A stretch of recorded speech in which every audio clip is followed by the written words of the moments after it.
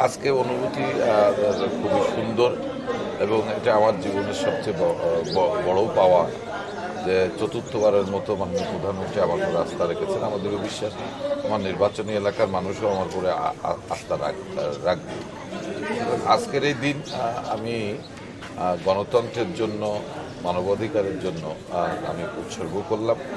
আর আজকের দিনে সবচেয়ে বেশি আমার খারাপ লাগছে এই ভেবে যে আজকে মানুষকে সাধারণ মানুষকে টার্গেট করে যেভাবে জ্বালাও পোড়াও সন্ত্রাস রাজত্ব কায়েম করতে চাচ্ছে যারা তাদের প্রতি অনুরোধ থাকব ফিরে আসুন আপনাদের ওই পথ থেকে।